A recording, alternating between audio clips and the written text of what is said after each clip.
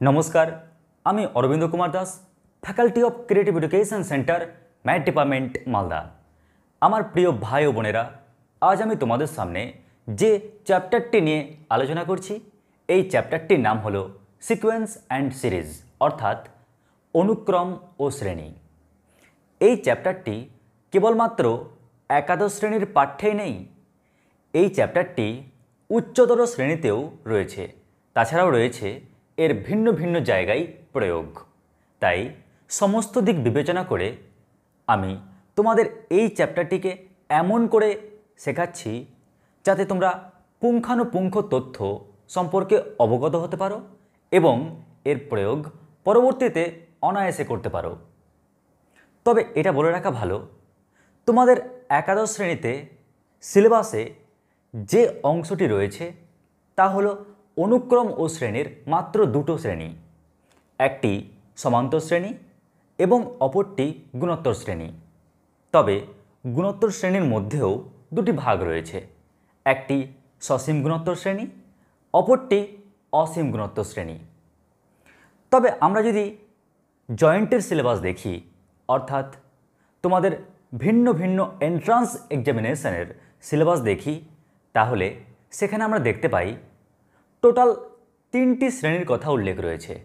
একটি সমান্তর শ্রেণি, দুই গুণোত্তর শ্রেণি এবং তিন বিপরীত শ্রেণি। আমরা এখন সিলেবাসের জন্য সিলেবাসের অংশে থাকা যে অংশগুলো রয়েছে, আমরা সেই অংশ নিয়েই আলোচনা করব। অর্থাৎ আমাদের আলোচ্য বিষয় প্রথমে সিকোয়েন্স অ্যান্ড সিরিজ, অর্থাৎ অনুক্রম ও শ্রেণি। এই ব্যাপারটি কী? এই সম্পর্কে সম্যক ধারণা জন্মানো। নাম্বার টু আমাদের সিলেবাসে যে অংশ রয়েছে, অর্থাৎ সমান্তর প্রগতি ও গুণোত্তর প্রগতি, অর্থাৎ সমান্তর শ্রেণি ও গুণোত্তর শ্রেণি, আমরা এই দুটো শ্রেণি সম্পর্কে সম্যক ধারণা লাভ করব। আর এটাই হবে আমাদের মূল বিষয়বস্তু। তবে পারিপার্শ্বিক দিক বিচার করে আমার মনে হয়, সমান্তর শ্রেণি, গুণোত্তর শ্রেণি শেখার আগে অনুক্রম ও শ্রেণি, অর্থাৎ সিকোয়েন্স অ্যান্ড সিরিজ এই চ্যাপ্টারটা কি? এই টপিকটা কি?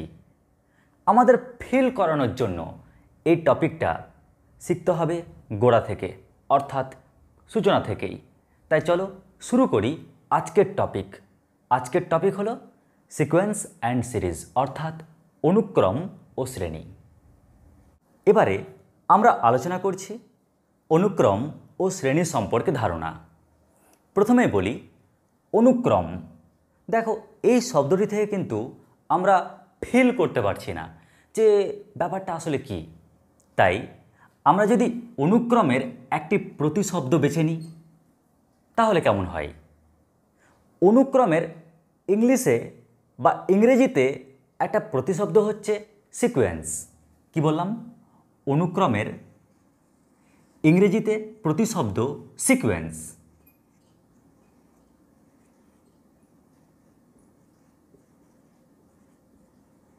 আমরা ইংরেজিতে অনুক্রমের প্রতিশব্দ পেলাম সিকোয়েন্স আর যখনই আমরা এই সিকোয়েন্স ওয়ার্ডটিকে দেখছি, তখন কিন্তু আমাদের মাথা সহজে ধরে নিতে পারছে সেই তরঙ্গটিকে, সেই তথ্যটিকে। কোন তথ্যটিকে? যা আমাদের বড়রা সহজে বলে থাকেন। কীরকম? করে সিকোয়েন্স মেনটেন করে পড়। দেখবি, পড়া খুব ভালো হবে। তার মানে নিয়ম মেনে পড়, তাহলে পড়া খুব ভালো হবে। আবার অনেকে বলে না, দেখ, পৃথিবী কিন্তু সিকোয়েন্স মেনটেন করেই সূর্যের চারিদিকে ঘুরছে।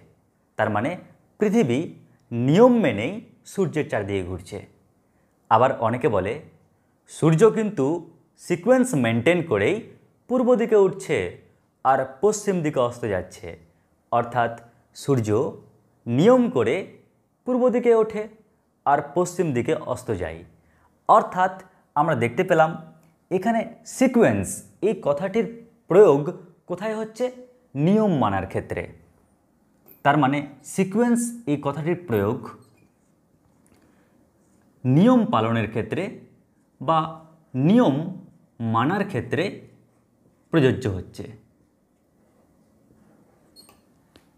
এবার যখনই নিয়ম মানার ব্যাপার আসলো, নিয়ম পালন করার ব্যাপার আসলো, তখনই কিন্তু দুটো তথ্য না জানলেই নয়। নাম্বার ওয়ান এই যে নিয়ম, এই নিয়ম কে মানবে? এই নিয়ম কে মানবে? আর নাম্বার টু নিয়মটি কি? কি নিয়ম? তাই না? মানছি। সিকোয়েন্স এটা কি ডিনোট করছে? একটি নিয়ম পালন, নিয়ম মেনে চলা বা নিয়ম মানা। এখানে এই নিয়ম, এই সিকোয়েন্স কে মেনটেন করে? আর নিয়মটি বা কী? তার প্রশ্ন উত্তর কী দেওয়া যায়? তো মনে রাখবে, এখানে যে নিয়মটি মানে তা হলো কিছু সংখ্যা। তার মানে সংখ্যা। সংখ্যা নিয়ম মানে। এবার এই সংখ্যাগুলো কি নিয়ম মানে? এবার কি নিয়ম মানে এটা তো বলা খুব মুশকিল, কিন্তু অবশ্যই একটা নিয়ম মেনটেন করে চলে, যার ফলে আমরা কিন্তু ওই নিয়মগুলো ধরতে পারলে বলতে পারব যে পরপর পরপর ডিজিটগুলো কী কী হয়। ব্যাপারটা বুঝলে না, তাই না? দেখো, উদাহরণের মাধ্যমে। আমি যদি বলি, দুটো উদাহরণ দাও তো দেখি। যে ডিজিটগুলো নিয়ম মানছে, তাহলে তুমি কি দেবে? তো লক্ষ্য করো, আমি দুটো উদাহরণ দিচ্ছি। নাম্বার ওয়ান ধরো, আমি প্রথম ডিজিট লিখলাম ওয়ান পরের ডিজিট লিখলাম থ্রি তার পরের ডিজিট লিখলাম ফাইভ তার পরের ডিজিট লিখলাম সেভেন আমাকে কিন্তু আর পরের ডিজিট বলতে হবে না, তোমার মুখ দিয়ে অটোমেটিক বেরিয়ে যাবে। কি? স্যার, আপনি তো এখানে সব বিজোড় সংখ্যা লিখছেন।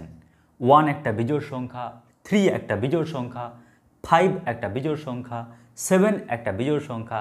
নিশ্চয়ই আপনি পরের সংখ্যাটা নাইন ছাড়া অন্য কিছু লিখবেন না।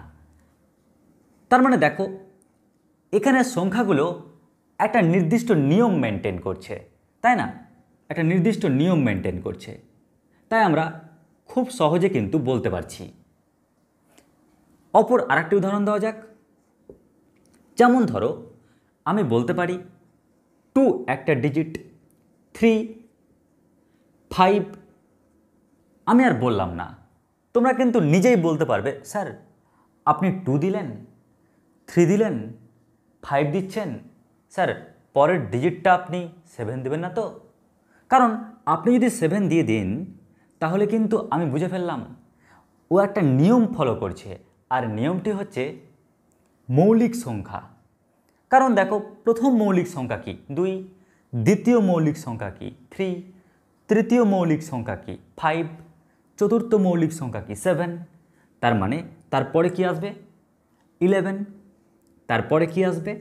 থার্টিন তো এইভাবে চলবে। তো দেখো আমরা কিন্তু দেখতে পাচ্ছি যে এখানে এরা এই সংখ্যাগুলো একটা টেকনিক মানছে, একটি নিয়ম মেনে চলছে, একটা সিকোয়েন্স মেনটেন করছে।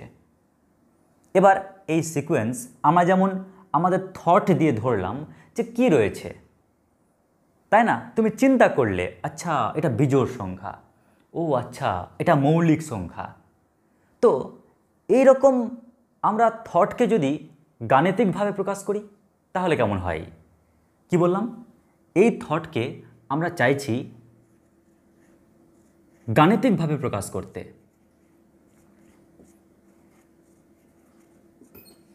গাণিতিকভাবে প্রকাশ।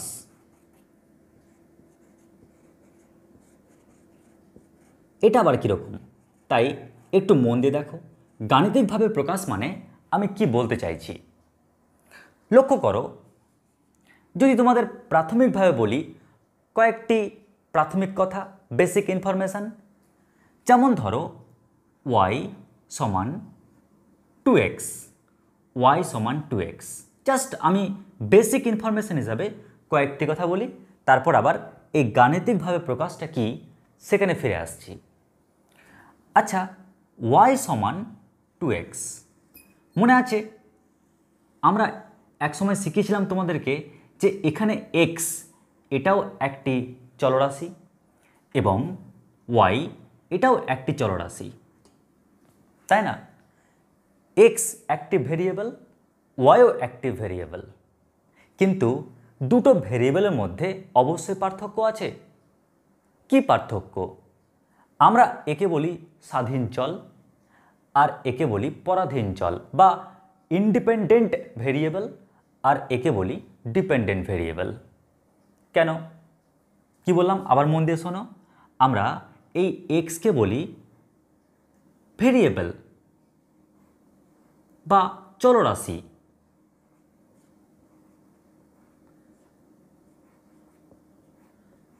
একই রকমভাবে আমরা কিন্তু এখানে ওয়াইকেও বলি চলরাশি।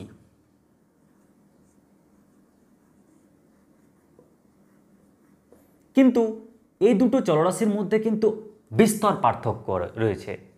এখানে আমরা এক্সকে কোন চলরাশি বলব এবং আমরা ওয়াইকে কোন চলরাশি বলব? তো তোমাদের বলেছিলাম ভেবে নাও এক্স হচ্ছে বাবা আর ওয়াই হচ্ছে তুমি। বাবা যদি টাকা না পাঠায় ছেলে মেয়ে পড়তে পারছে না। তার মানে এক্সের মান না পুট করলে তুমি ওয়াইয়ের মান পাচ্ছ না। বাবা টাকা পাঠাচ্ছে, তখন ছেলে মেয়ে পড়তে পারছে। তার মানে বাবা কি?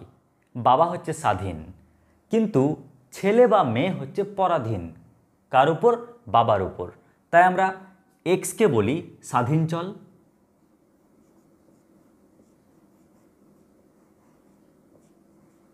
আর ওয়াইকে বলি পরাধীন চল। তার মানে এই চলরাশিটি পরাধীন।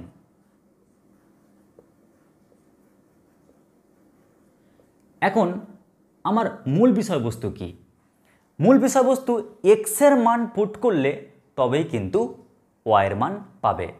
এবারে গাণিতিকভাবে প্রকাশ। এবারে এই যে নিয়ম, নিয়মটাকে গাণিতিকভাবে কি করে প্রকাশ করব তা জানার জন্য আমি তোমাদের দেখাচ্ছি অপেক্ষক সম্পর্কে কিছু ধারণা এবং তার মাধ্যমেই তোমাদের দেখাবো যে গাণিতিকভাবে কীভাবে প্রকাশ করা যায়। লক্ষ্য করো, ধরে নাও যে এফ এক্স এফ এক্স একটি অপেক্ষক, এখানে এফ এক্স ইকুয়াল টু হতে পারে এক্স স্কোয়ার হতে পারে টু এক্স প্লাস ওয়ান হতে পারে ওয়ান বাই এক্স মানে অনেক কিছু হতে পারে। আমি তোমাদের সুবিধার জন্য দিলাম ওয়ান বাই এক্স আর তোমাদের তো বলেইছিলাম যে অপেক্ষক কি ডিনোট করে? একটা অপারেটর তো মানে মেশিন তার মানে এফেক্স একটা মেশিন আর কীরকম মেশিন মন দিয়ে দেখো, এটা এমন একটা মেশিন যে আমরা জানি যে কোনো একটা মেশিনে যেমন ধান ঢাললে চাল হয়ে বেরোয়, গম ঢাললে আটা হয়ে বেরোয়, ফল ঢাললে জুস হয়ে বেরোয়, ঠিক এমন একটা মেশিন যে মেশিনে যদি আমরা এক্সের মান ঢালি যে মেশিনে আমরা এক্সের মান ঢালি, তাহলে ওই মেশিন থেকে কার মান পাবো? ওই মেশিন থেকে আমরা পাবো, ওই মেশিন থেকে আমরা পাবো এফেক্সের মান। তাই না? যেমন দেখো, ধান ঢালো তো চাল পাবে, গম ঢালো তো আটা পাবে, ফল ঢালো তো জুস পাবে, ঠিক একই রকম এক্সের মান ঢালো তো তুমি এফেক্সের মান পাবে। এক্সের মান ঢাললে এফেক্সের মান পাবে, কি মজা? তাহলে আমি এক্সের যে কোনো মান পুট করতে পারব। এক্সের যে কোনো মান পুট করতে পারব। আর এফেক্সেরও মান পাবো? ঠিক কিনা বলো আগে। এক্সের তুমি জাতা মান পুট করতে পারবে, আর তুমি এফেক্স পাবে। এবার এখানে এক্সের যে জাতা মান পুট করবে, এখানে আমরা কিছু বাধা নিষেধ রাখব। তো এটাকে আমি অপর আরেকটি টেকনিকে বোঝানোর জন্য আমি অন্য একটি উদাহরণের হেল্প নিই। তোমরা তো এই উদাহরণটি বুঝতে পেরেছ যে এখানে এক্সের মান ঢাললে আমরা অলওয়েজ এফেক্সের মান পাবো। এটা নিয়ে নিশ্চয় কোনো কারোর সমস্যা নেই। এবার আমি এই উদাহরণটিকে যদি অন্য একটি পন্থায় নিয়ে যাই, কীরকম? মন দিয়ে দেখো। এফেক্স ধরে নাও এটা একটা মানুষ। ওর এটা হচ্ছে মুখ, তাই না? ও মুখ দিয়ে সব কিছু খেতে পারে। কিন্তু বেরোবে তো একই জিনিস, তাই না? মুখ। তুমি এই মুখটা তো মানুষের স্বাধীন, তাই না? কারণ দেখো এক্স এক্স হচ্ছে স্বাধীন। তাই মুখ স্বাধীন। কিন্তু কি বেরোবে সকালে? এটা পরাধীন। তার মানে মানুষের মুখটা হচ্ছে অল টাইম স্বাধীন। তুমি এই মুখ দিয়ে খেতে পারো বিড়ি বা খেতে পারো বিরিয়ানি। এই মুখ দিয়ে খেতে পারো ভাত কিংবা খেতে পারো চিকেন। এই মুখ দিয়ে খেতে পারো মাটন বা খেতে পারো অমলেট। তার মানে তোমার মুখ স্বাধীন। তুমি যা ইচ্ছা তাই খেতে পারো। কিন্তু পরাধীন কি, সকালে কি বেরোবে? তার মানে তুমি কি খাবে এটা হচ্ছে স্বাধীন। এবার এবার তুমি কি খাবে, তুমি তো ইচ্ছা করলে যা তা খেতে পারো। তুমি রিয়াল নাম্বার পুট করতে পারো, তুমি ন্যাচারাল নাম্বার পুট করতে পারো, তুমি বসাতে পারো এখানে পূর্ণ সংখ্যা। তুমি যা তা বসাতে পারো। কিন্তু ডক্টর যখন তোমাকে দেখলেন, তখন দেখলেন যে না, তোমার তো সুগার হয়ে গেছে। এফেক্সের হয়ে গেছে সুগার আর এফেক্সের সুগার হয়ে যাওয়ার জন্য আর কিন্তু ও সব কিছু খেতে পারবে না। খাওয়ার ক্ষেত্রে কিছু নিষেধাজ্ঞা জারি হয়ে গেল। যেমন ধরো, মিষ্টি খেতে পারবে না। কেন? ওর যে সুগার হয়ে গেছে, তাই ও কত আনন্দে ছিল, আমি যা তা বুঝতে পারতাম রিয়াল নাম্বার ন্যাচারাল নাম্বার অমুক নাম্বার তমুক নাম্বার সব বুঝতে পারতাম। কিন্তু এবার কিন্তু আর যা তা বুঝতে পারছে না, কারণ ওর রোগ ধরা পড়েছে। তার মানে আমরা শুধু এক্সের মান ন্যাচারাল নাম্বার ছাড়া আর কিচ্ছু পুট করতে পারব না। ন্যাচারাল নাম্বার মানে কি? মানে হচ্ছে রোল নাম্বার মানে one two three four five six এরা হচ্ছে ন্যাচারাল নাম্বার আমরা এক্সের মান তো পুট করব আর এফএক্সের মান পাবো। তো এক্সের মান ওয়ান টু থ্রি ফোর এই মানগুলো ছাড়া অন্য কোনো মান পুট করতে পারব না, বসাতে পারব না। এই আমাকে শর্ত দিয়ে দিল। কারণ এফেক্সের রোগ হয়ে গেছে। কোন রোগ? এই যে সিকুয়েন্সের রোগ। এবার আমি যদি এক্সের মানটা ওয়ান পুট করি সব ক্ষেত্রেই এক্সের মানটা ওয়ান পুট করি ওয়ান বাই ওয়ান মানে ওয়ান পাচ্ছি। এক্সের মান যদি টু পুট করো, তাহলে ওয়ান বাই টু পাচ্ছ। এক্সের মান যদি থ্রি পুট করো, তাহলে ওয়ান বাই থ্রি পাচ্ছ। এক্সের মান যদি ফোর পুট করো, তাহলে ওয়ান বাই ফোর পাবে। তো দেখো, আমি বসাই না বসাই, আমরা কিন্তু একটা সিস্টেম বুঝে গেলাম। আরে one by two one by three এখন এটা একটা সিকুয়েন্সে চলে আসছে, একটা নিয়মে চলে আসছে। One by four one by five one by six এরকম চলছেই, কারণ সংখ্যার তো শেষের শেষ নেই। তাই আমরা প্রচুর এলিমেন্ট পাবো এর মধ্যে। আর এটাকেই আমরা কি বলছি? সিকোয়েন্স বা অনুক্রম। বাংলায় বলছি অনুক্রম। আর এটাকেই আমরা ইংরেজিতে কি বলছি? সিকোয়েন্স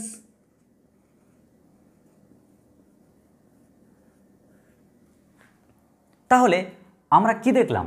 সিকোয়েন্স কি? আমরা এই ফাংশানে এক্সের মান ন্যাচারাল নাম্বার বসিয়ে আমরা এফএক্সের যে মানগুলো পাচ্ছি, সেই মানগুলোকে সেকেন্ড ব্র্যাকেটের মধ্যে লিখলাম। এটাই হচ্ছে কি সিকোয়েন্স দেখো, এখানে প্রত্যেকটা পদ কিন্তু একটা নিয়ম মেনটেন করছে। তো কি পার্থক্য এদের সাথে এর? দেখো, এখানে কিন্তু আমাদের দৃষ্টিভঙ্গিকে চৌখস রাখতে হতো, দেখতে হতো, আরে দেখি তো এখানে ডিজিটগুলো কেমন আকারে আছে? ও, এই ডিজিটগুলো এখানে বিজোড় সংখ্যা আকারে আছে। আচ্ছা দেখি তো এখানে ডিজিটগুলো কীরকম আকারে আছে? ভালো করে ফোকাস দিলাম আর বললাম, ও আচ্ছা আচ্ছা আচ্ছা এখানে ডিজিটগুলো মৌলিক সংখ্যা আকারে আছে। মানে আমাদের কিন্তু পুরো দৃষ্টিভঙ্গিকে স্ট্রং রাখতে হলো। আর এক্ষেত্রে কি বলতো? কোনো দৃষ্টিভঙ্গি স্ট্রং রাখার প্রয়োজন নেই। একটা গাণিতিক টেকনিক মেনটেন করল। ওইখানে খালি মানগুলো পুট করছি আর সুন্দরভাবে আমরা ডিজিটগুলো পেয়ে যাচ্ছি। যেমন ধরো উদাহরণ হিসাবে যদি বলি যে f x equal f x equal ধরো এক্স স্কোয়ার তুমি যদি এক্সের মান ওয়ান পুট করো, তো পাচ্ছ কি ওয়ান স্কোয়ার এক্সের মান টু পুট করো, তো পাচ্ছ টু স্কোয়ার। এক্সের মান থ্রি পুট করো, তো পাচ্ছ থ্রি স্কোয়ার। ওহ ও তো একটা নিয়ম মানছে। নিশ্চয়ই পরেরটা four square, five square, six square, seven square, একটা নিয়ম মেনটেন করে যাচ্ছে না। তো আমরা এই যে ফাংশানটা, এর জন্য কিন্তু আমরা খুব সহজে এই নিয়মটা বানাতে পারলাম। আর নিয়ম মানলে, যে সংখ্যাগুলো নিয়ম মেনটেন করে করে এগোচ্ছে, আমরা তাকেই তো বলছি সিকোয়েন্স। তাহলে আমরা সিকোয়েন্স সম্পর্কে একটা দারুণ আইডিয়া পেয়ে গেলাম। এবার যদি আমরা বলি যে এই সিকোয়েন্সকে কী কীভাবে প্রকাশ করা হয়, কারণ দেখো তোমাদের মধ্যে অনেকে থাকবে যে অনেকের অনেক রকম ডাকনাম আছে, অনেকের অনেক রকম ডাকনাম থাকে। যেমন ধরো আমারও ডাকনাম রয়েছে, সেরকম তোমারও ডাকনাম থাকতে পারে। এখন প্রশ্ন হচ্ছে যে সিকোয়েন্সের ডাকনামগুলো কী কী? কাকিমা সিকোয়েন্সকে কী নামে ডাকে? তো কাকিমা এই সিকোয়েন্সকে ডাকবে ওই নামেই। কীরকম নামে? One one by two one by three one by four one by five চলছে এরকম। তো এটাও তো একটা সিকোয়েন্স তাই না? এই যে? কেউ বলতে পারে এটাকে আবার অন্যভাবে। কীরকম? দেখো। আচ্ছা বলতে পারবে, এই ওয়ান এই ওয়ান বাই টু এই ওয়ান বাই থ্রি কার মান? নিশ্চয়ই one one by two one by three এগুলো এফএক্সেরই তো মান। এক্সের মান পুট করলে তবেই না এফএক্সের মানটা পেয়েছ। তার মানে তুমি স্বীকার করতে বাধ্য যে ওয়ান হচ্ছে এফএক্সেরই একটা মান ওয়ান বাই টু হচ্ছে এফএক্সেরই একটা মান ওয়ান বাই থ্রি হচ্ছে এফএক্সেরই একটা মান। তার মানে আমরা আসলে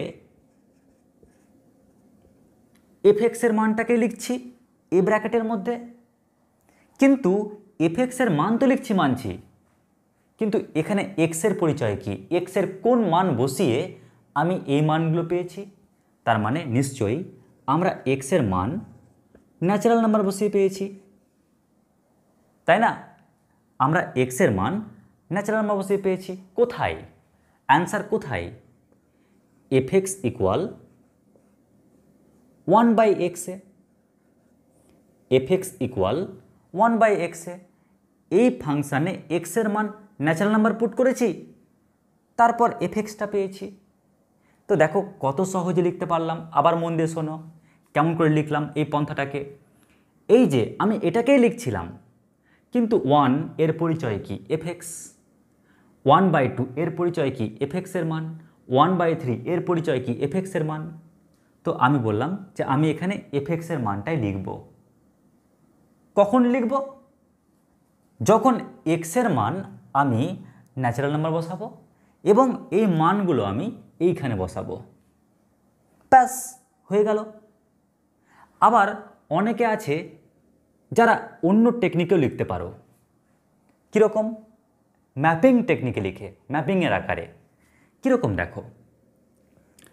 F maps natural number to real number f maps natural number to real number কেন দেখো? আমি আমি ডোমেন থেকে সর্বদা নিচ্ছি কি? এক্সের মান। দেখো এক্সের মানগুলো নিচ্ছি ন্যাচারাল নাম্বার থেকে। বসাচ্ছি কোথায়? ফাংশানে বসাচ্ছি কোথায়? ফাংশানে বসানোর পর আমি যে রেজাল্টগুলো পেলাম এফেক্সের যা মান পেলাম, প্রত্যেকটা কিন্তু কি পেলাম? রিয়াল নাম্বার পেয়েছি। দেখো, যা মান পেয়েছি, প্রত্যেকে কিন্তু রিয়াল নাম্বার এখানে যদি রুট ওভার থাকতো না রুট এক্স তাহলে আমি রুট ওভার দিয়ে অ্যান্সার পেতাম। যদি এখানে থাকতো এক্স স্কোয়ার তাহলে বর্গ হিসাবে অ্যান্সার পেতাম। তার মানে কি যে পাচ্ছ রে ভাই, তা কিন্তু বলা সাংঘাতিক ব্যাপার, কারণ নির্ভর করবে এখানে ফাংশানটার উপর। তাই আমরা কি বললাম? ডোমেন থেকে এক্সের মান নিলাম, বসালাম আমরা ফাংশানে আর যা ফাংশানের মান পেলাম, তা কিন্তু এই রিয়াল নাম্বার তাই আমরা এই সিকোয়েন্সকে ভিন্ন ভিন্ন টেকনিকে লিখতে পারি। এখন আমরা জানলাম যে অনুক্রম ব্যাপারটি কি। তাহলে এখান থেকে কি আরেকটা তথ্য জানতে পারি না? যে শ্রেণি তাহলে কি?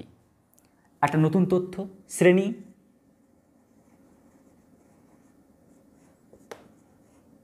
তো শ্রেণীকেই আরেকটা ভাষায় বলা হয় সিরিজ। তাই না? শ্রেণীটাকেই আর একটা ভাষায় বলা হয় সিরিজ। এবার শ্রেণি মানে কি? দেখো, মন দিয়ে শুনবে। শ্রেণি মানে হচ্ছে সিকোয়েন্সের যে পদগুলো দেখতে পাচ্ছ না, তার যোগফল। কি বললাম?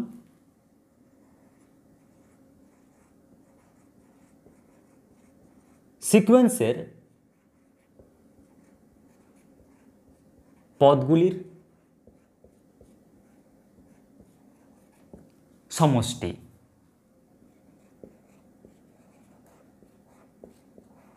সিকোয়েন্সের পদগুলির সমষ্টি বা যোগফল। তো লক্ষ্য করো, এখানে যে সিকোয়েন্সটা দেখতে পাচ্ছ, এই সিকোয়েন্সের পদগুলো কী কী দেখতে পাচ্ছ?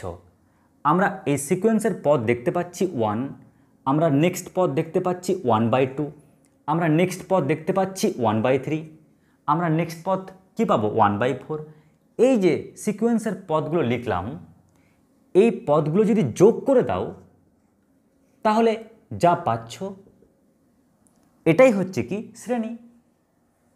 আমরা যেহেতু অসীম সংখ্যক পদ পাব, কারণ তুমি তো মান পুট করেই যাচ্ছ করেই যাচ্ছ করেই যাচ্ছ ন্যাচারাল নাম্বার তো শেষ নেই। তাই তুমি এফেক্সের মান পেয়েই যাবা পেয়েই যাবা পেয়েই যাবা। তাই আমরা যদি মানগুলো সব যোগ করেই যাই করেই যাই করেই যাই, তার মানে কি? আমরা অসীম শ্রেণি পাচ্ছি। তার মানে শ্রেণি মানে হচ্ছে সিকোয়েন্সের পদগুলির যোগফল। আশা করছি তোমরা এই টপিকের মাধ্যমে সিকোয়েন্স এবং সিরিজ সম্পর্কে একটা সম্যক ধারণা পেলে। যদি আমি সংক্ষেপে এই ব্যাপারটিকে একবার ডিসকাস করি, তাহলে কি পাচ্ছি মন দিয়ে শোনো। আমি এটাই বললাম, অনুক্রম, আজকের মূল চ্যাপ্টার অনুক্রম, এটা এই শব্দ থেকে কিছু ফিল করতে পারছিলাম না। তাই আমি তোমাদের ধারণা দেওয়ার চেষ্টা করলাম এর প্রতিশব্দের মাধ্যমে সিকোয়েন্স আর সিকোয়েন্স এই ওয়ার্ডটা কেমন যেন একটা মনের মধ্যে ফিল করাচ্ছে যে যা কিছু করো সিকোয়েন্স মেনটেন করে করো মানে নিয়ম মেনে চলো। তার মানে একটা নিয়ম মানার কথা বলছে। তখনই মাথায় আসলো কে নিয়ম মানবে আর কে নিয়ম মানবে। দেখলাম সংখ্যা নিয়ম মানবে। নিয়মটি কী করে মানবে? তার উদাহরণ দিতে গিয়ে দেখলাম সত্যি এখানে ব্রেন লাগছে, দৃষ্টিভঙ্গি সজাগ রাখতে হচ্ছে। তাই এই নিয়মটাকে আমরা কি কোনো গাণিতিক টেকনিকে ফেলতে পারি না? যে মান পুট করব আর অটোমেটিকভাবে নাম্বার পাবো? আর যে নাম্বারগুলো নিয়ম মেনটেন করে হবে। তো এটাকে জানার জন্য আমার মনে হলো যে তুমি তো এক্সের মান পুট করবে আর এক্সের মান স্বাধীন, তাই মুখ স্বাধীন আর এফেক্সটা পরাধীন। তাই আমার মনে হলো স্বাধীন চলরাশি আর পরাধীন চলরাশিটা কি তা বোঝানো দরকার। তারপর তো সহজেই বললাম তোমাদের যে এখানে ধান ঢাললে চাল হয়ে বেরোবে, গম ঢাললে আটা হয়ে বেরোবে কিন্তু আমার মনে হলো যে এক কাজ করি না। যেহেতু আমরা এখানে ফিক্সড কিছু মান পুট করব, তার মানে মুখটা কি স্বাধীন? এই মুখ ইচ্ছা করলে যা ইচ্ছা তাই খেতে পারবে। এক্সের মান তুমি যা ইচ্ছা তাই পুট করতে পারবে। কিন্তু কিছু নিষেধাজ্ঞা জারি করলাম। ওর সুগার হয়ে গেছে ভাবলাম। তার মানে কি এক্সের মান আর ও যা তা খেতে পারবে না? শুধুমাত্র ও খেতে পারবে ন্যাচারাল নাম্বারগুলো আর ন্যাচারাল নাম্বারগুলো বসিয়ে আমরা যা আউটপুট পেলাম, তাদেরকে নিয়ে আমরা যা পেলাম সংখ্যা, তা হলো কি অনুক্রম বা সিকোয়েন্স এই সিকোয়েন্সকে ভিন্নজন ভিন্ন ভিন্ন টেকনিকে লিখে, কেউ লিখে, স্যার, ওটাই লিখুন না। লিখলাম। কেউ বলে, স্যার, এই যে আপনি দেখতে পাচ্ছেন ওয়ান ওয়ান বাই টু এগুলো কার মান? এগুলো তো এফেক্সেরই মান। লিখলাম। কিন্তু আপনি এফেক্সটা পাচ্ছেন কি করে? এফেক্সটা পাচ্ছেন এক্সের মানগুলো আপনি ন্যাচারাল নাম্বার বসাচ্ছেন, কোথায়? F x equal to one by এক্সে আবার কেউ বলতে পারে, স্যার, আপনি ন্যাচারাল নাম্বার থেকে মানগুলো নিচ্ছেন পুট করছেন ফাংশানে যা মান পাচ্ছেন সব তো ওখানে গিয়ে জমা হচ্ছে। তো এই তিনভাবে লেখা হতে পারে। আরও লেখার টেকনিক রয়েছে। তবে শ্রেণি ব্যাপারটি কি?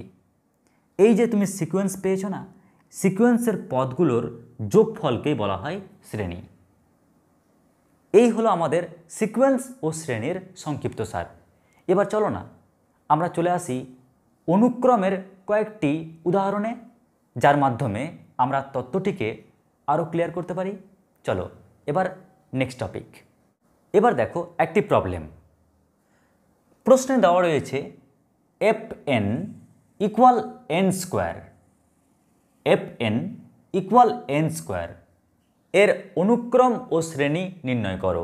মানে এর সিকোয়েন্স অ্যান্ড সিরিজ কি হবে? এটা নির্ণয় করো। লক্ষ্য করো, আমরা কিন্তু আগে দেখে এসেছিলাম যে f x equal one by x তাই না? F x equal one by x আমরা কিন্তু এক্স দিয়ে লিখতাম। এখানে দেওয়া রয়েছে এন দিয়ে। মনে রাখবে, যেহেতু এক্স সর্বদা আমরা কি বসাচ্ছি? ন্যাচারাল নাম্বার পুট করছি। এক্সের মান সর্বদা আমরা ন্যাচারাল নাম্বার পুট করছি। তাই আমরা এখানে এক্স না লিখে এফ এনও লিখতে পারি। তাই দেখবে আমাদের বইতে এখানে এফ এন দিয়েই লেখা থাকে। কেন? কারণ আমরা এখানে যে এক্সের মান সর্বদা ন্যাচারাল নাম্বার পুট করি। ওই কারণে আমরা এফ এন এফ এক্স দিচ্ছি না আর। F n equal one by n f x equal one by x ঠিক একই রকম f x equal x square কিন্তু এই সিকোয়েন্স চ্যাপ্টারে এই অনুক্রম চ্যাপ্টারে আমরা যেহেতু সর্বদা এখানে ন্যাচারাল নাম্বার পুট করি, তাই আমরা আর f x equal x square না লিখে ন্যাচারাল নাম্বার পুট করার জন্য আমরা f n equal n square ধরে নিচ্ছি। ওকে এবার আমাদের প্রশ্ন হচ্ছে যে অনুক্রম কি করে নির্ণয় করব আর শ্রেণি কি করে নির্ণয় করব? এটি নির্ণয়ের দুটি পদ্ধতি রয়েছে। আমি দুটো পদ্ধতি তোমাদের সামনে পরিষ্কারভাবে উল্লেখ করছি। তাহলে চলে আসি আমরা প্রথম টেকনিকে ফার্স্ট ট্রিক্স চিত্রের মাধ্যমে। তো লক্ষ্য করো, এখানে এফ এন এখানে এফ এন এটা কি আসলে? এফ এন মানে দেওয়া রয়েছে এখানে এন স্কোয়ার কিন্তু তোমরা জানো এফ এন তো একটি ফাংশান অপেক্ষক। আর অপেক্ষক মানে হচ্ছে একটা মেশিন তাই না? অপারেটর একটা মেশিন আর একটু আগে তোমাদেরকে বারবার বললাম যে এমন একটা মেশিন যে মেশিনে তুমি যদি ধান ঢালো, তো চাল হয়ে বেরোবে, গম ঢালো, তো আটা হয়ে বেরোবে, ফল ঢালো তো জুস হয়ে বেরোবে। তো এমন একটা মেশিন, এই মেশিনে তুমি যদি এনের মান ঢালো, তাহলে এখানে তোমরা এফএনের মান পাবে। এখানে তোমরা এফএনের মান পাবে। ব্যাস। তো আমরা মোটামুটি ছবিটি এঁকে রাখলাম। এবার প্রশ্ন হচ্ছে, তুমি এখানে এনের মান কি ঢালবে? তো প্রশ্ন হচ্ছে, মানছি তুমি এনের মান ঢালো, বাট এনের মান ঢালবে তুমি ন্যাচারাল নাম্বার যা তা না natural number sir natural number মানে কি মানে হচ্ছে one two three four five six seven eight dot dot dot dot dot তুমি এনের ওই মানগুলোকে ঢালো। আর দেখো তো এফএনের মানগুলো কী কী পাচ্ছ? তুমি যদি এনের ওয়ান মান ঢালো, তাহলে পাচ্ছ ওয়ান স্কোয়ার যদি টু মান ঢালো তাহলে পাচ্ছ টু স্কোয়ার যদি থ্রি মান ঢালো, তাহলে পাচ্ছ থ্রি স্কোয়ার এরকমভাবে আমরা মানগুলো পুট করছি একটা একটা করে, আর একটা একটা করে মান পাচ্ছি। আর আমরা যা পেলাম, তাকে সেকেন্ড ব্র্যাকেটের মধ্যে বন্দি করে রাখলাম। আর এটাকেই বলছি আমরা কি? এটাকে বলছি আমরা সিকোয়েন্স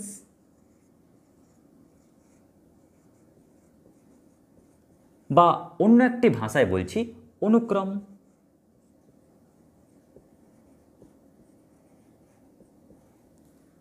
আশা করছি তোমরা এই অনুক্রম ব্যাপারটি কি তা বুঝতে পেরেছ। যখন তোমরা পরীক্ষায় লিখবে, তখন কি তোমরা পরীক্ষাতে এভাবে লিখবে? নিশ্চয় না। তখন কি করে লিখবে? তখন আমরা ব্যাপারটাকে এইভাবে লিখব যে দেওয়া আছে দেওয়া আছে বলতে পারবে, এখানে কি দেওয়া রয়েছে? এখানে দেওয়া রয়েছে এফ এন ইকুয়াল কি? তার মানে দেওয়া রয়েছে f n equal n square কিন্তু আমরা কি জানি? এন এর মান ওয়ান এন এর মান টু এন এর মান থ্রি এগুলোই তো পুট করব। তো তোমরাই বলো, যদি এনের মানটা ওয়ান হয়, তাহলে আমরা কি পাচ্ছি? ওয়ান স্কোয়ার যদি এন এর মান টু হয় তাহলে কি পাচ্ছি? টু স্কোয়ার যদি এনের মান থ্রি হয়, তাহলে কি পাচ্ছি? থ্রি স্কোয়ার আমরা এনের মান ওয়ান টু থ্রি ফোর বসাচ্ছি এখানে, আর আমরা এখানে মানগুলো পাচ্ছি। আমরা কার মান পেলাম? আমরা এনের মান একটা একটা করে বসাচ্ছি ন্যাচারাল নাম্বার আর আমি এফ এর মানগুলো পাচ্ছি। তাহলে আমরা কি বলতে পারি? যে অনুক্রম বা সিরিজ সরি অনুক্রম বা সিকোয়েন্স অনুক্রম বা সিকোয়েন্স কি পাচ্ছি? আমরা পাচ্ছি one square two square three square plus dot dot dot dot dot চলছেই তো এই হলো সিকোয়েন্স বা অনুক্রম। তাহলে সিরিজটা কি? তাহলে আমরা বলতেই পারি শ্রেণি হচ্ছে শ্রেণি হচ্ছে এই যে সিকোয়েন্স সেই পদগুলোর সমষ্টি। অর্থাৎ একটি পদ পেয়েছি ওয়ান স্কোয়ার অপরটি পেয়েছি টু স্কোয়ার তারপর পেয়েছি থ্রি স্কোয়ার তারপর পেয়েছি ফোর স্কোয়ার এই যে পদগুলো পেলাম, এই পদগুলোর যোগফলকে আমরা বলছি কি? শ্রেণি। ব্যাস তাহলে আমরা সিকোয়েন্স আর সিরিজ সম্পর্কে একটা সম্যক ধারণা পেয়ে গেলাম। আশা করছি তোমরা সিকোয়েন্স আর শ্রেণির মধ্যে তোমরা পার্থক্য বুঝতে পেরেছ। এরপর দেখাবো তোমাদের একটা গুরুত্বপূর্ণ গুরুত্বপূর্ণ প্রশ্ন। তোমরা বলবে, স্যার, তাহলে কি সিকোয়েন্স আর সেট কি একই? কারণ সেটকেও তো এই চিহ্নের মধ্যে লেখা হয়। আর আপনি সিকোয়েন্স বা অনুক্রমকেও তো ওই চিহ্নের মধ্যে লিখছেন। সেটের মধ্যেও তো এলিমেন্ট থাকে। আপনি সিকোয়েন্সের ওই চিহ্নের মধ্যেও তো এলিমেন্ট বসিয়েছেন, কমা কমা আকারে। তাহলে কি সেট ও সিকোয়েন্স একই? তাহলে এই প্রশ্ন সম্পর্কে আমি তোমাদের অবগত করাবো। তাহলে দেখো, এবার পরের টপিক এবার দেখো, এবার একটা গুরুত্বপূর্ণ প্রশ্ন। প্রশ্নটি এটাই যে সেট এবং অনুক্রম কি? একই? এর মনের মধ্যে কিন্তু প্রশ্ন চিহ্ন উৎপন্ন হয়েছে। সেট আর অনুক্রম কি একই? যদি একই হয়, তাহলে পার্থক্য কেন করল? সেটের মধ্যে দিলেই হতো। তাহলে সেট আর অনুক্রম কি একই? আচ্ছা একই কি একই নয়, তা বোঝার জন্য প্রথমে একটা উদাহরণ দরকার। তাই আমি অনুক্রমের মাধ্যমেই উদাহরণটি দিই। দেখো f n equal one by n তাই না? F n equal one by n এখন অনুক্রম কি দাঁড়াবে? আমরা কি জানি? অনুক্রম মানে এনের মান যাতা কিন্তু পুট করা যায় না। ন্যাচারাল নাম্বার পুট করতে হয়। এনের মান ওয়ান পুট করো, তো ওয়ান বাই ওয়ান এনের মান টু পুট করো, তাহলে ওয়ান বাই টু এনের মান থ্রি পুট করো ওয়ান বাই থ্রি এনের মান ফোর পুট করো ওয়ান বাই ফোর এভাবে তো চলছে। তো লক্ষ্য করো, যখন তোমরা সেট থিওরি করেছিলে, তখনও আমরা দেখতাম সেটের পদগুলোকে সেকেন্ড ব্র্যাকেটের মধ্যে লেখা হতো, আর এখানেও তো লেখা আছে। আমরা দেখতাম সেকেন্ড ব্র্যাকেটের মধ্যে পদ থাকতো। দেখো সেকেন্ড ব্র্যাকেটের মধ্যেও পদ রয়েছে। তাহলে পার্থক্য কোথায়? মহা মুশকিল। সেট থিওরির আর অনুক্রম দেখতে পুরোপুরি একই হয়ে গেল। তাহলে পার্থক্য করবে কোথায়? কি এমন থিওরি রয়েছে যার মাধ্যমে আমরা অনুক্রম আর সেটকে পার্থক্য করতে পারি? যদি সেট আর অনুক্রমকে পার্থক্য করতে চাও, তাহলে সেটের কন্ডিশন দিয়ে মাপতে হবে অনুক্রমকে। তাহলেই তো বলতে পারব যে না, এই পার্থক্যর জন্য সেট আর অনুক্রম আলাদা। তার জন্য আমি দুটো উদাহরণ নিই। একটা উদাহরণ নিলাম এটি, অপর আরেকটি উদাহরণ নিই। ধরে নাও minus one whole to the power n. কী বললাম? অপর আরেকটি উদাহরণ, minus one whole to the power n.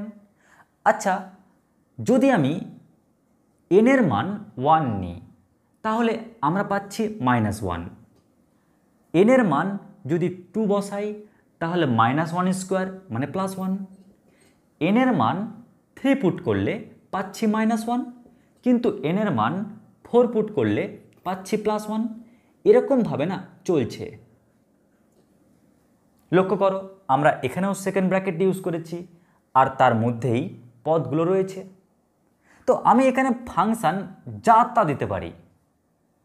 আমরা ফাংশনাল যে ভ্যালুগুলো পাই, তাদেরকে নিয়েই তো বলি অনুক্রম। কিন্তু আমরা মান পুট করি কি? এনের মান ন্যাচারাল নাম্বার ফাংশান হতে পারে যাতা কিন্তু মান পুট করি আমরা ন্যাচারাল নাম্বার এনের জায়গায়। এবার এই দুটোকে মাপি, দেখি তো। প্রথমটার ক্ষেত্রে দেখতে পাচ্ছি ওয়েল ডিফাইন বলতে পারবে ওয়েল ডিফাইন মানে কি? সুসংগত, সমজাতীয়। হ্যাঁ এখানেও ডিজিট নিয়ে কারবার। এখানেও ডিজিট নিয়ে কারবার। ব্যাস, মেনে চলেছে। নাম্বার টু কি?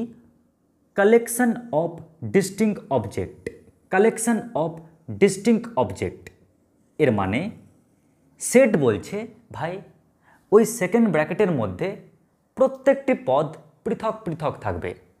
কারণ যখন তোমাদের আমি সেট সম্পর্কে থিওরি বুঝিয়েছিলাম আর বলেছিলাম সেট একটা ফোল্ডার আর ফোল্ডারে একই জিনিস দুবার বা তিনবার থাকে না। তাই দেখো, সবাই একবার করে রয়েছে। ওয়ান একবারই আছে ওয়ান বাই টু আর কোথাও নেই ওয়ান বাই থ্রি আর কোথাও নেই। তার মানে সবাই একবার করে আছে। কিন্তু লক্ষ্য করো, এখানে মাইনাস ওয়ান দুইবার আছে। তার মানে কি? কালেকশান অফ ডিস্টিং অবজেক্ট এই কন্ডিশনটাকে ও মানছে না। দেখো, এটা যদি একটা ফোল্ডার হয় না, এই ফোল্ডারের মধ্যে একই নাম দুইবার সেভ করা আছে। তার মানে এই থিওরি মানছে না। ইন্ডিপেন্ডেন্ট অফ অর্ডার ক্রম নিরপেক্ষ, ক্রমের উপর ডিপেন্ড করে না। ডিপেন্ড লিখতেও পারো, নাও লিখতে পারো, কোনো সমস্যা নেই। তার মানে কি? এই কন্ডিশন মানছে। আর আমরা দেখতে পেলাম যে সব অনুক্রম কিন্তু সেট থিওরি যে তত্ত্ব মানছে তা না, ওই অনুক্রম মানেনি কিন্তু এই অনুক্রম মেনেছে। যদি সবাই মানত, তাহলে বলতাম হ্যাঁ অনুক্রম আর সেট একই। যদি মিনিমাম একজনকে খুঁজে পেয়ে নাও যে মানছে না, তাহলে কিন্তু আমরা সঙ্গে সঙ্গে বলতে পারি যে অনুক্রম আর সেট কিন্তু একই নয়। তাহলে আমরা আমরা এই কনক্লিউশন দেখে সঙ্গে সঙ্গে আমরা সিদ্ধান্তে আসতে পারি যে সেট এবং অনুক্রম একই নয়। কি বললাম? সেট ও অনুক্রম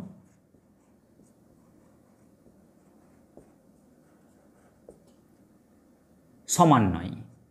বা একই নয়।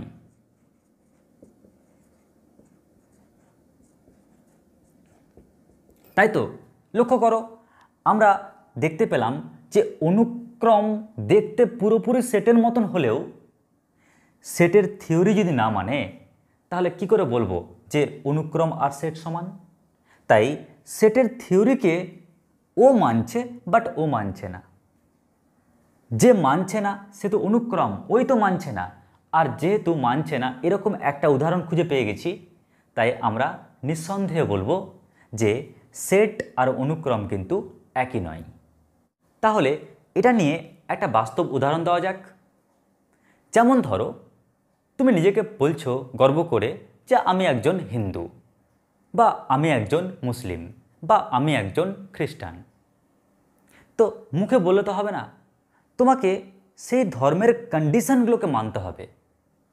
ধর্মের, প্রত্যেকটা ধর্মের মূল কন্ডিশন হচ্ছে শান্তি বজায় রাখা, অহিংসা।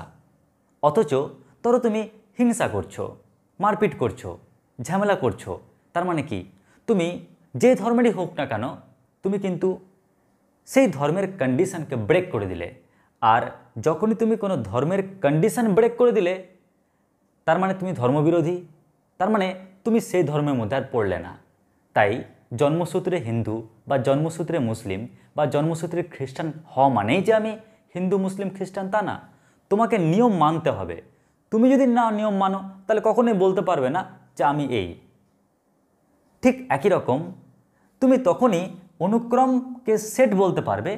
যদি অনুক্রম সেটের ধর্মগুলোকে মানে সেটের কন্ডিশনগুলোকে মানে যদি সেটের কন্ডিশনগুলোকে কোনো কোনো ক্ষেত্রে না মানে তখন অনুক্রমকে বলব, বাবু, তুই আর সেট হতে পারলি না। তো এই হচ্ছে সেট ও অনুক্রমের মধ্যে পার্থক্য। আশা করছি বুঝতে পারলে? এবার দেখো নেক্সট টপিক আমরা অনেক শিখলাম সিকোয়েন্স অনেক শিখলাম সিরিজ কি করে সিকোয়েন্স বের করতে হয়? কি করে সিরিজ বের করতে হয়? এ সম্পর্কে সম্যক ধারণা নিলাম। কিন্তু আর না। এবার আমাদের সিলেবাসে যে অংশ রয়েছে, অর্থাৎ সমান্ত শ্রেণি গুণত্ব শ্রেণি আমরা এখন এই ফান্ডাটি জেনেই আজকের মতন আমরা অনুক্রম ও শ্রেণির যে ধারণাটিকে পুরো স্টপ করতে চাইছি। তাই চলো না, আজকে দেখে নিই যে এই অনুক্রম শ্রেণির মাধ্যমে আমাদের সিলেবাসে যে সমান্ত শ্রেণি গুণত্ব শ্রেণি রয়েছে, তার ফান্ডাটা কি? তারপর আমরা নেক্সট ডে সমান্তর শ্রেণি সম্পর্কে পুরো ধারণা নিয়ে সেই চ্যাপ্টার শিখব। ঠিক একই রকম গুণোত্তর প্রগতি নিয়ে বা গুণোত্তর শ্রেণি নিয়েই আলাদা আমরা কনসেপ্ট বেস তৈরি করে সেই চ্যাপ্টার শিখব।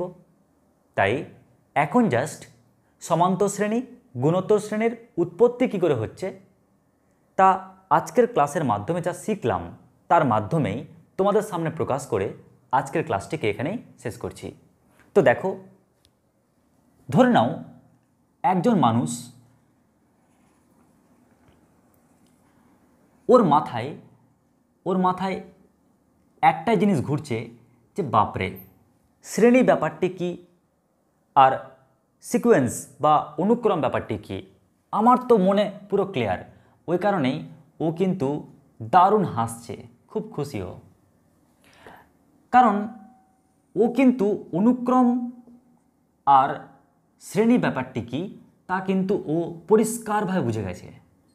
ও দেখল যে সিকোয়েন্স ব্যাপারটি টাফ না, সংখ্যাগুলো কিছু টেকনিক মেনটেন করবে, কিছু নিয়ম মেনটেন করবে, যাতে আমরা পরবর্তী সংখ্যাগুলো কি মৌখিকভাবে বলতে পারি, এরকম টেকনিক তো ওই টেকনিকটাকে কেন আমরা ব্রেনের মাধ্যমে প্রকাশ করব তা আমরা কেন গাণিতিকভাবে প্রকাশ করব না?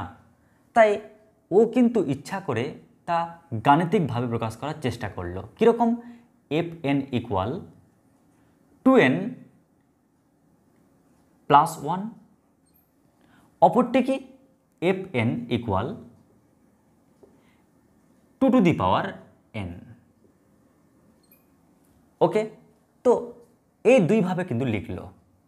দেখি না, এই দুটো ফাংশান ধরে আমরা রেজাল্ট কি পাচ্ছি, আমরা সিকোয়েন্স কি পাচ্ছি, আর সেই বেসিসে আমরা সিরিজ কি পাচ্ছি। আর সিরিজের ক্যারেক্টারিস্টিক্স কীরকম হচ্ছে?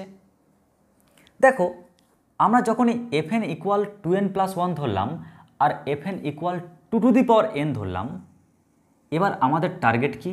আমাদের টার্গেট সেই কাজ যে কাজের মাধ্যমে আমরা অনুক্রমটি পেয়ে থাকি। কীরকম কাজ? দেখো এফ এন সমান কী লিখছি? এফ এন সমান লিখছি টু এন প্লাস ওয়ান আমরা এখানে এনের জায়গায় কি মান পুট করব?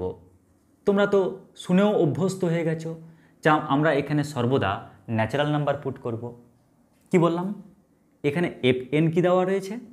এখানে এফ এন দেওয়া রয়েছে two to the power n আমরা এখানে এনের জায়গায় কি পুট করব? আমরা এনের জায়গায় সর্বদা ন্যাচারাল নাম্বার পুট করব। ক্লিয়ার তো একটু ছবিটা এঁকে নিই। আমরা এখানে এনের জায়গায় পুট করব natural number n belongs to natural number কি বললাম? এখানে আমরা এনের জায়গায় কি পুট করব? আমরা এখানে এনের জায়গায় পুট করব n belongs to natural number তুমি যদি এনের মান ন্যাচারাল নাম্বার পুট করো, তাহলে তুমি পাচ্ছ কি দেখো? তুমি যদি ওয়ান পুট করো, তাহলে পাবে থ্রি তুমি যদি টু পুট করো, তাহলে পাবে two into two four four plus one মানে ফাইভ তুমি যদি থ্রি পুট করো, তাহলে কত পাচ্ছ? সেভেন তুমি যদি ফোর পুট করো, কত পাবে? নাইন তার মানে তুমি এই ডিজিটগুলো পাচ্ছ। আর এই ডিজিটগুলোকে নিয়ে তা যদি সেকেন্ড ব্র্যাকেটের মধ্যে স্থাপন করো, যা পাচ্ছ তা হলো কি? সিকোয়েন্স বা অনুক্রম।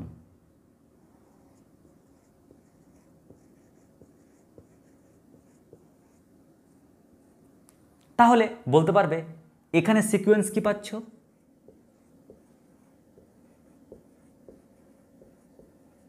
আমরা এখানে সিকোয়েন্স পাচ্ছি। তুমি যদি ফার্স্ট ন্যাচারাল নাম্বার পুট করো ওয়ান তাহলে টু এর পাওয়ার ওয়ান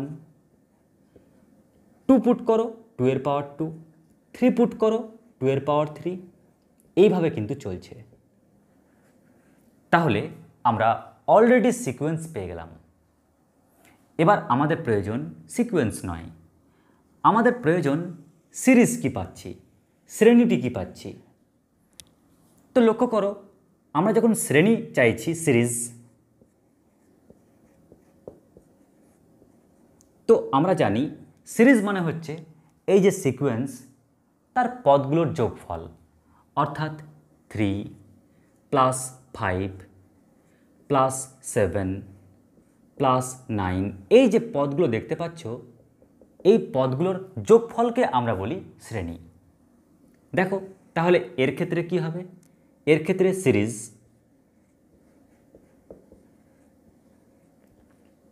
যে পদগুলো তোমরা পেয়েছ, অর্থাৎ টু এর পাওয়ার ওয়ান টু এর পাওয়ার টু টু এর পাওয়ার থ্রি এই যে পদগুলো পেয়েছ, এই পদগুলোর যোগফল, এটাকেই আমরা কি বলছি? সিরিজ বা শ্রেণি। এবার দেখো, আমি এই যে দুটো শ্রেণি পেলাম, এই দুটো শ্রেণির মধ্যে কিছু বিশেষত্ব খুঁজি, আর এখানে চ্যাপ্টারটাকে স্টপ করি। দেখো, এর মধ্যে একটা দারুণ বিশেষত্ব আছে। কীরকম জানো? দেখো, এদের মধ্যে যখন ডিফারেন্স খুঁজবে না, যখন এদের অন্তর খুঁজবে, তো দেখো, অন্তর কি পাচ্ছ? পরেরটা থেকে আগেরটা বিয়োগ, অর্থাৎ দুই। দেখো, এদের মধ্যে যখন অন্তর খুঁজছ, তখন কি পাচ্ছ? পরেরটা থেকে আগেরটা বিয়োগ, দুই। দেখো, এদের মধ্যে যখন অন্তর খুঁজছ, তার মানে কি? পরেরটা থেকে আগেরটা বিয়োগ, দুই। আরে, এটা কি? এটা তো একটা শ্রেণি। কিন্তু এই শ্রেণি একটা কোয়ালিটি মেনটেন করছে। কি কোয়ালিটি মেনটেন করছে? এদের অন্তরগুলো সমান। দেখো, অন্তরগুলো সমান। অন্তর সমান, তাই অন্তর সমানকে একত্রে কি বলতে পারি? সমান্তর। ওই কারণে বলছি, এই যে শ্রেণীটি হলো সমান্তর শ্রেণি। তার মানে সমান্তর শ্রেণির চেনার টেকনিকটা কি? সমান্তর শ্রেণি চেনার টেকনিক প্রথমে তো শ্রেণি হতে হবে। তারপর আমরা দেখব যে তাদের অন্তর অন্তর মানে পরের পদ থেকে আগের পদ বিয়োগ করলে, পরের পদ থেকে আগের পদ বিয়োগ করলে, পরের পদ থেকে আগের পদ বিয়োগ করলে তাদের অন্তরগুলো, তাদের বিয়োগফলগুলো সব ক্ষেত্রে সমান তো? যদি সমান হয়, তখনই আমরা বলব এটি হবে সমান্তর শ্রেণি। অপরপক্ষে লক্ষ্য করো, আমরা যদি এর সাথে টু মাল্টিপ্লাই করি, তাহলে ওকে পাচ্ছি। আবার ওর সাথে টু মাল্টিপ্লাই করলে আবার ওকে পাচ্ছি। আবার ওর সাথেও টু মাল্টিপ্লাই করলে পরেরটা পাবো। তো গুণটা আস্তে আস্তে বাড়ছে, গুণোত্তর। গুণটা আস্তে আস্তে উত্তর হচ্ছে মানে বাড়ছে। তার মানে এটাও একটা শ্রেণি। এটাও একটা শ্রেণি। কিন্তু কোন শ্রেণি? গুণটা যেহেতু আস্তে আস্তে বাড়ছে, একই জিনিস গুণ হচ্ছে আর বাড়ছে। তাই আমরা বলছি গুণোত্তর। গুণোত্তর শ্রেণি। তাহলে এই হলো দুই প্রকারের শ্রেণি যা আমাদের সিলেবাসে রয়েছে। আমরা পৃথক পৃথক চ্যাপ্টার আকারে এই দুটো শ্রেণি সম্পর্কে পূর্ণ জ্ঞান নিয়ে আমরা এই অনুক্রম ও শ্রেণির বড় পার্ট যা তোমাদের চারটি পার্টে বিভক্ত। চারটি পার্ট বলতে একটি সমান্তর শ্রেণি, অপরটি গুণোত্তর শ্রেণি, অপরটি অসীম গুণোত্তর শ্রেণি এবং অপরটি বিপরীত শ্রেণি। এই যে চারটি পার্ট রয়েছে, যার মধ্যে একটি সিলেবাসে নেই, তিনটি পার্ট তোমাদের পুরো কনসেপ্ট দিয়ে বেশ স্ট্রং করে একদম সির দ্বারা সহজ রেখে, সোজা রেখে তোমাদের সলভ করাবো। আশা করছি আজকের ক্লাসটি তোমাদের ভালো লেগেছে? বাস্তব উদাহরণ বুঝতে পেরেছ? এবং অঙ্কের কৌশল বুঝতে পেরেছ? এখান থেকে আমরা অঙ্ক তো করব না। কিন্তু অনুক্রম আর শ্রেণি চ্যাপ্টার যখন আমরা ধরলাম, তখন চ্যাপ্টারটার রহস্য জানতে না পারি। তাহলে আমরা চ্যাপ্টার যখন ডেপতে যাব, তখন কিন্তু আটকে যাব। তাই সমস্ত দিক পরিপূর্ণভাবে শেখার জন্য এবং স্ট্রং হয়ে আমরা চ্যাপ্টারটাকে আরও উন্নত করার জন্য যাতে আমরা প্রত্যেকটা টপিক সম্পর্কে জ্ঞান লাভ করতে পারি, প্রত্যেকটা টপিক সম্পর্কে জানতে পারি, প্রত্যেকটা টপিক অ্যাপ্লাই করতে পারি, সেই দৃষ্টিভঙ্গি রেখেই আজকের আমাদের এই সিকোয়েন্স ও সিরিজের পার্ট কেমন লাগল? অবশ্যই তোমরা কমেন্ট সেকশানে জানাবে। কোথায় তোমাদের টাপ লাগল সেটাও জানাবে। আর কোথায় সবচেয়ে বেশি লেগেছে ভালো সেটাও তোমরা জানাবে। তাহলে সেই মতন আমরা পরবর্তী ভিডিওটাও তৈরি করব। ওকে? তাহলে আজকে অবধি। আবার নেক্সট দিন দেখা হবে। নমস্কার।